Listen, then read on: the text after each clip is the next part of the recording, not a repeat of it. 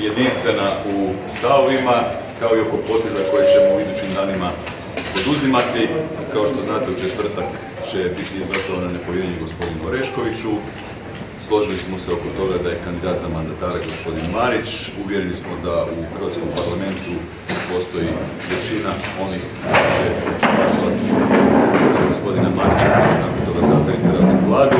Također mislimo da ta nova hrvatska vlada može jače, brže i efikasnije ne samo provoditi reforme koje, koje se svi zaklinjemo, nego zaista osigurati bolji život hrvatskih građana.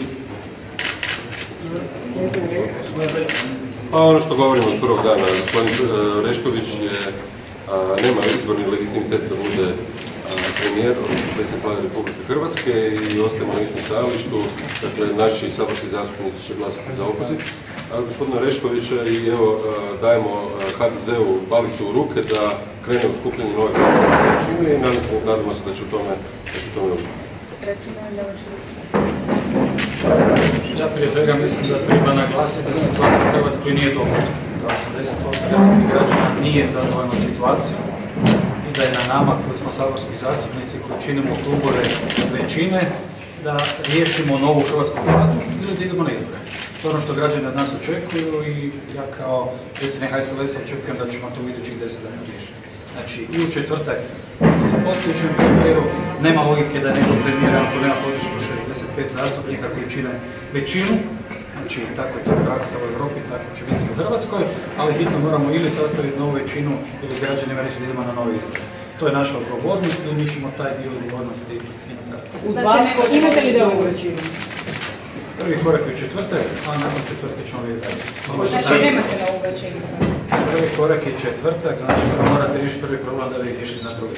Da gospodin Marić nema izborni legitimitet. Ne, Možete pitati, dakle, rekli smo da HDZ kreće u slaganje nove većine. Suprotno ono što je gospodin Kosor rekao slijede nam izbor. To je činjenica. Da li će skupiti ili ne, to ne ovisi o nama, ne ovisi o HSS-u, nego ovisi o prvenstveno HDZ-u, odnosno ostalim akterima, a, odnosno saborskim zastupnicima. Ali gospodin Marić ipak za razliku od gospodina Ore- Oreškovića a, radio nešto u vladi Republike Hrvatske, radio kao pomoćnik ministra, koliko ja znam bio je državni tajnik i ima puno više legitimiteta nego neki drugi. Ako dozvolite još jednu rečenicu. Dakle, ono što, ono što smo se također složili, eh, a to je da Hrvatska nema vremena izgubiti 6 do 12 mjeseci. Dakle, ono što hrvatski građani očekuju od svih političara jest da konačno pokrenemo reforme i da osiguramo bolji život. I da se odjepimo sa europskog dna.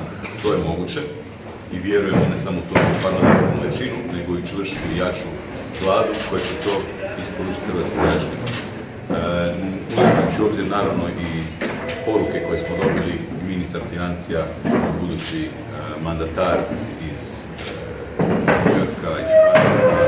Dakle, e, situacija je takva da jednostavno 6 do 12 mjeseci mi smo apsolutno sigurni da to Hrvatska ne može se dopustiti. I još jednu stvar koju je za naglasiti. Mislimo da je u skladu sa najboljom demokratskom europskom praksom. To je nakon što pada jedna vlada, postoji normalan pokušaj da se sastavi parlamentarna većina, koja, evo imamo i kandidata za mandatara, e, da se prikaže ko su ti ministri i što će činiti. HDZ stoji iza svog programa, domoljubna koalicija stoji iza svog programa i iza svojih ljudi. Ko će činiti tu većinu? Pa vidjet ćete, dakle, korak po korak. Znamo, tko su, znamo svi tko su e, parlamentarni zastupnici koji su spremni podržati parlamentarnu većinu. Tko su? Dakle, svi su, svi su dobrodošli. E, manjine, dio Mosta, Most, dakle svi oni koji su do sada na neki način podržavali ili u nekim trenucima podržavali, neki su, s nekima su bili održavani razgovori, za to ruke u parlamentu postoje, a ja sam osobno uvjeren da postoji odgovornost svakog pojedinog zastupnika u Hrvatskom saboru, da upravo razumije ovo o čemu danas govorimo. Hrvatska nema vremena za 6 do 12 mjeseci s upitnim završecima, e, reforme, ne kao isprazna riječ, nego borba za bolji život hrvatskih građana, jednostavno više e, za to nemamo vremena, građani nemaju strpljenja i to ih, u tom ih potpuno razumiju. Oni su prošli?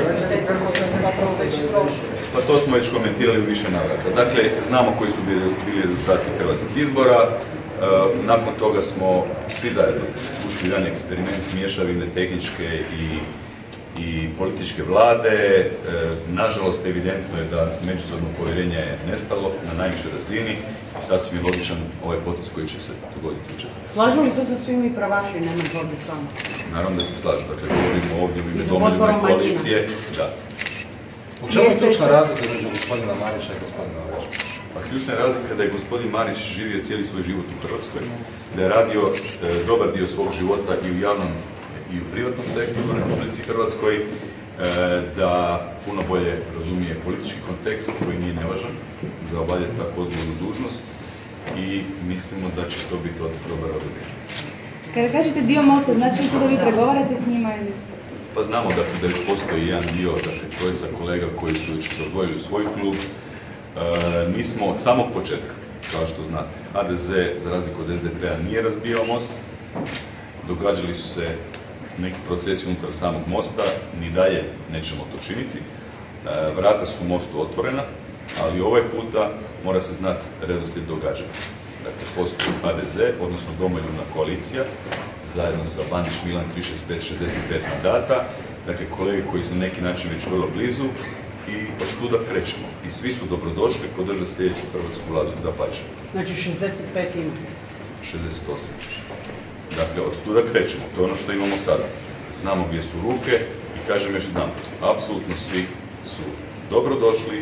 Ja vjerujem u odgovornost svakog pojedinačnog zastupnika da razumiju politički kontekst, ali ne samo politički, nego ekonomski i financijski, ako hoćete poznično i drugo. A jeste li vi svojim koalicijskim partnerima danas predstavili koja su druga imena na toga? Molim? Jeste Ja li ću nešto koalicijskim reći u ime partnerima predstavili? Znači, ja mislim da se treba prije svega ispričati svim hrvatskim građanima, cjelokupnoj hrvatskoj javnosti na svemu što se događa, bez obzira ko je više ili manje kriv. Mislim da nema aktera u ovoj većini zajedno sa Mostom koji ne snosi jedan dio krivice. Ali prošlo je tek nekoliko mjeseci. Jedino što nam preostaje prema europskoj praksi, ili nova vlada, ili brzo novi izbori. Znači, odgovornost svih nas, pa i Mosta koji još uvijek dio većine, ili da pokušamo napraviti novu vladu koja će funkcionirati, ili novi izbori već u sedmom mjesecu. I mislim da ništa drugo ne možemo napraviti i da je to naša odgovornost prema građanima. Ali još jednom kažem, ispričavam se u svoje ime, a vjerujem u ime svih kolega radi svega ovo što je bilo zadnjih nekoliko da- Gospodine Milošević, ako sam vas dobro shvatio, vi ste sada rekli da imate 68, ne 76 u ovom trenutku glasova. Ne, ja govorim o tome što imamo danas, dakle 65, to je, mislim, opće poznato, bez mosta 65 članova parlamenta. Zna se, i točno se zna, i točno se zna gdje postoje ruke. Tko su ruke, kao što sam rekao, svi su dobrodošli u sljedeću novu parlamentarnu većinu. Dobrodošli su, ali nisu još tu. Koliko Da, imamo potpise, pa mislim da te govorimo onom što je opće poznato. tvrdite da imate 76 glasova, sad kažete da ih zapravo Govorimo, nema. govorimo da imamo, da vjerujemo u parlamentarnu većinu. To cijelo vrijeme Čime govorimo ćete jer, gospodina Oreškovića?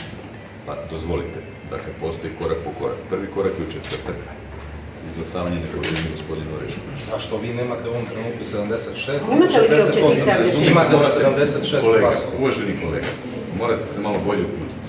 Dakle, postoji glasovanje u Hrvatskom parlamentu. Imate li vi za to Dakle, glasovanje da, imamo, 76 ruku? imamo, Koje su to ruke? dakle, imamo 76 ruku, ne brinite, vidjet ćete u četvrtak. Računate na oporbu. Ne računamo, ne računamo na oporbu. Ok, hvala lijepo. Hvala.